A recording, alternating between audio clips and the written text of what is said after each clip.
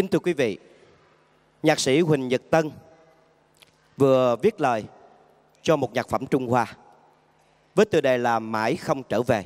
Mời quý vị thưởng thức qua phần trình diễn của nam ca sĩ Nguyễn Thắng. khóc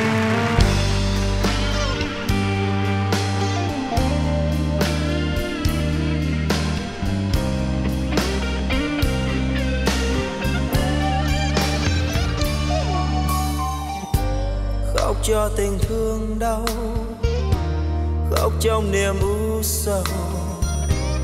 Em ra đi, không lời chan chối lúc sau cuối, khóc cho người yêu xưa khóc cho bờ môi mềm. Em nay ra đi cho anh thêm niềm chua xót.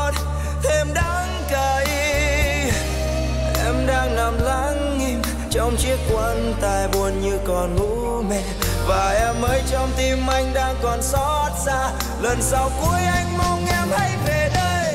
Giờ đây em biết anh còn yêu anh còn thương anh còn đang vẫn yêu em. Vẫn yêu em hoài. Trong đêm bóng anh ngồi đây mong chờ em cho dù em đã đi xa. Rồi Hey, ai ân còn trên môi sao ấm lòng bóng em giờ nơi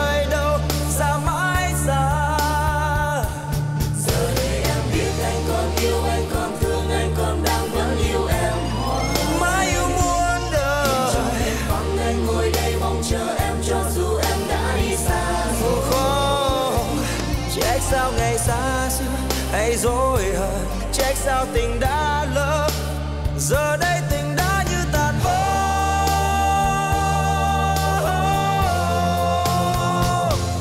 mãi không trở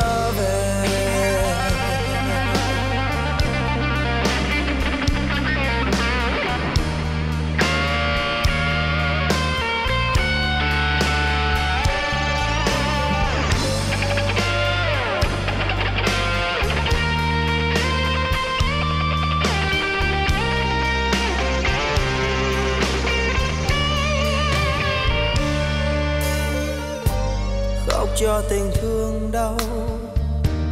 Khóc trong niềm u sầu. Em ra đi, không lời chan chối. Lúc sau cuối, khóc cho người yêu xưa khóc cho bờ môi mềm. Em nay ra đi cho anh thêm niềm chua xót.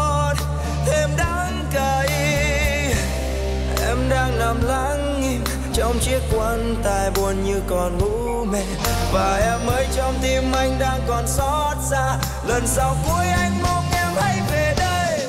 Giờ đây em biết anh còn yêu anh còn thương anh còn đang vẫn yêu em. Vẫn yêu em hoài. Trong đêm vắng anh ngồi đây mong chờ em cho dù em đã đi xa rồi. Hey, ai ân còn trên môi? Sao ấm nồng? Mong em giờ nơi